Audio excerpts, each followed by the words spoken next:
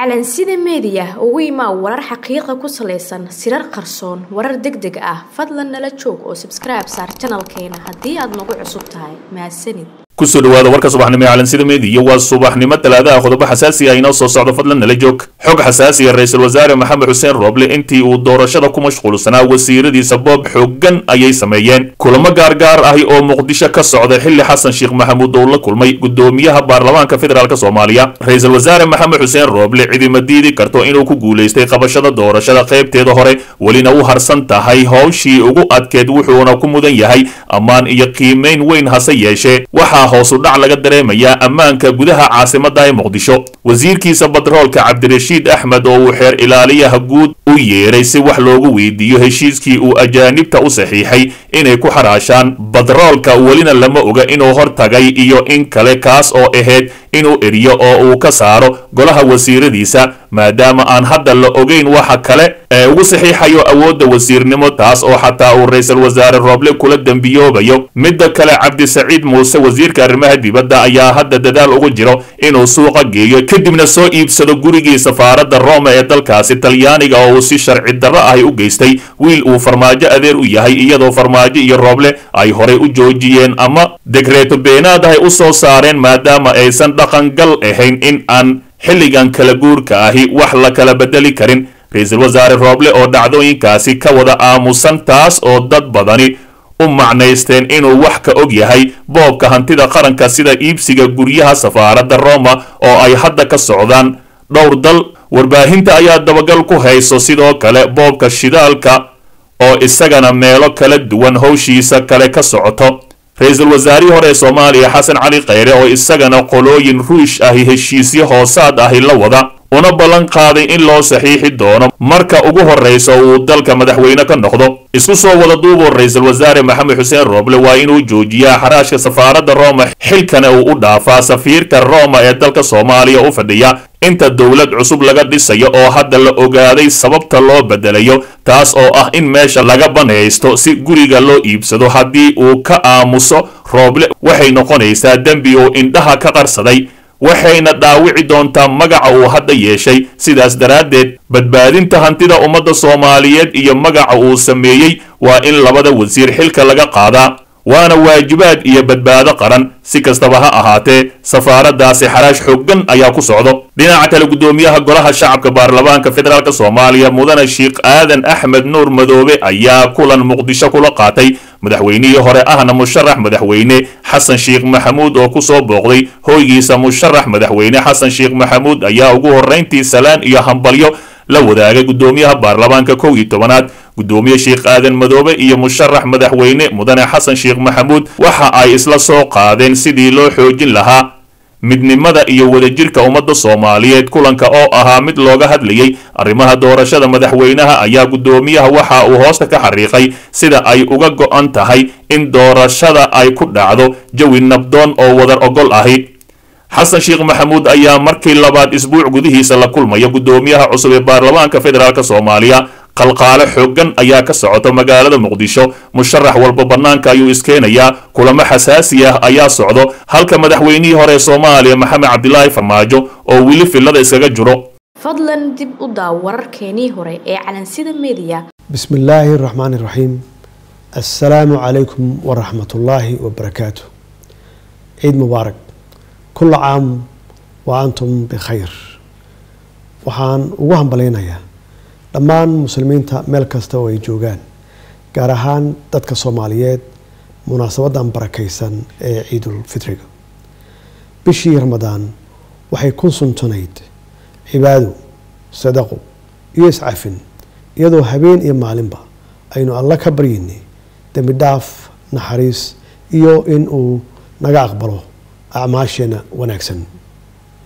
Walaalayaal waxaan idinku boorinayaa inaynu sii joogteenno dhaqamada wanaagsan ee aynu mudnaanta siinay muddadii bishii ramadaan. Kuwaasoo igu horeyso kaalmada iyo u gargaaridda dadkeena danyarta ah ka shaqaynta danta guud iyo ducada ku aadan inuu alle inoo wanaajiyo dalkeenna naguna gallado amni xasilooni iyo barwaaqo. Munaasabadda ciidda waxaan doonayaa inaan farxaddeeda si gaar ah aan ula qaybsado. Halyeeyada ciidamada qalabka sida ee soomaaliyeed oo habeen iyo maalinba u taagan xaqiijinta amniga shacabka soomaaliyeed iyo difaaca dalka iyo sharafta dalkeenna. Iyagoo u huraya waxa ugu qaalisan ee qof bini aadanah uu ku bixiyo taasoo ah naftooda iyo noloshooda. In shacabka soomaaliyeed sanadihii la soo dhaafay ay si nabad ah ku soomeen bisha ramadaan. Waxay ku timid alla fadligiis ka sokow halgan iyo howl badan oo ay qabteen ciidanka soomaaliyeed maadaama uu jiro cadow argagixiso ah oo duulaan ku ah dalkeenna. Caddaystayna inuu xoojiyo dhagartooda maalmaha cibaadada ee bisha ramadaan. Walaalayaal sida aada wada ogsoon tihiin waxaa waajib ku ah qof kasta oo muslima oo awood u leh inuu bixiyo fitrada caawa ama ilaa salaada ciidda ka hor. Taas oo ah kaalmo aynu ku kabayno nolosha dadkeenna danyarta ah. Arrintani waxa ayna xasuusinaysaa ahmiyadda ay leedahay inaan isu naxariisanno kana warqabno dadka waalaheenna ah ee nugul. Waxaan alle ka baryayaa inuu ciidan ciiddeeda kale nagu gaarsiiyo camal iyo cibaado san. Dalkeenna iyo dadkeennana uu ku manaysto naxariis horumar iyo barwaaqo. Ciid mubaarak wasalaamu calaykum waraxmat ullaahi wabarakaatu bismi illahi raxmaan raxiim alxamdu lilahi rabi alcaalamiin wasalaamu calaa ashraf alambiya mursaliin sal allahu aleyh wasalam mar labaad xildhibaanada sharafta leh waad salaamantihiin guddoomiyaha waa mahadsan yahay. Guddoomiyaheenii hore ee baarlamaankii tobanaad xilkiisa sharaf badan noogu wareejiyey. Xafiisyada iyo kullin waa booqan doonaa. Haddii alle idmo maanta ajendaheena wuxuu ku koobnaa xil wareejintaas. Keliya waxaan ku darsanaynaa hoogo yar dirdaar ah. Yaan ku darsan doonaa insha allahu. Waxaan rabaa xildhibaanada sharafta leh. Horta marka koowaad mar labaad mar saddexaad inaan idin mahadcelino anigoo magaca guddoonka ku hadlaayo bartakoolka waxaa noo xil saaran noo wada xogayahani guud. Marka siduu u tilmaamay baan ku wadi doonaa guddoomiye ku-xigeenada biyaajida aan soo fadhiisanay inta soo fadhiisan doonaan siduu sheegay. Hadda macnaha dirdaar iyo keliya anigaa dhammaystiri doonaa waxaan rabaa marka koowaad inaan idin mahadceliyo xildhibaanada sharafta leh baarlamaanka koob iyo tobnaad sida sharafta leh aada noo soo doorateen oo maanta ilaahayna waafajiyey. Aniga oo nabad qabnaa inaan isugu nimaadno golaheena ilaahayna gaarsiiye alxamdulilah maxad dhammaanteed ilaah bay u sugnaatay. Dhinaca kale waxaan rabaa inaan idin caddeyno hadduu ilaahay yidhaahdo maanta wixii ka horreeyey anagu wixii la soo maray oo maamulka afaarihiis ah waxaa soo waday guddoonka kumeelgaarka ahaa. Anagu wixii maanta laga bilaabo ayaa golaha shacbiga xildhibaanadeena golaha shacbiga ayaa nagula xisaabtami doona in anagu hawshii bilaabaynaa horta saas koo mabda-iyaan inaad ogaatiin. Midda kale waxaan rabaa waad ogtihiin song maanta inuu ku egyahay iyo haddii kale beri inuu gaaro laga yaaba waa gebogebo soonkii maaragtay waqtigiisa yaa dhammaanaya ciida fooda nagu soo haysaa marka sidaa daraaddeed waxaan rajaynayaa ciidda kadib iyo isku soo noqoshada noqon doonta.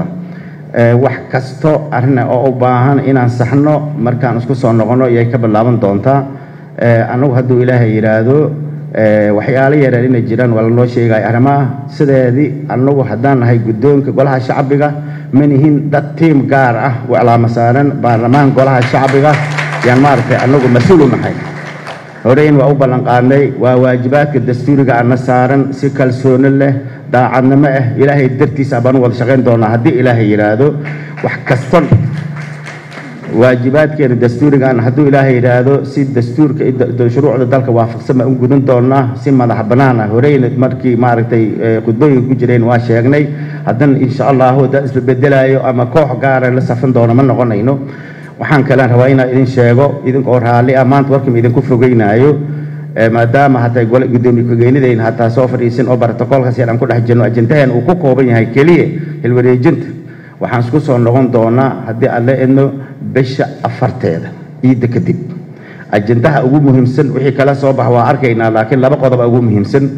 Dalku waad ogtihiin waxaa lanooga fadhiyaa annaga shacabiga soomaaliyeed indhaha nagu hayaan oo lanaga sugahayo doorasho xur iyo xalaala inaan dalka u qabanno taasaa ummadda soomaaliyeed naga sugaysa ogaada qodobkeena koowaad kaas waay marka maalintaas waxaan ka doodi doonaa miisaaniyadda oo ayadan haddaan la ansixinin miisaaniyaddii laba lama soo qaadin hogo waa ogtihiin waxaa lagu jiray waqti yaroo fatir iska ah.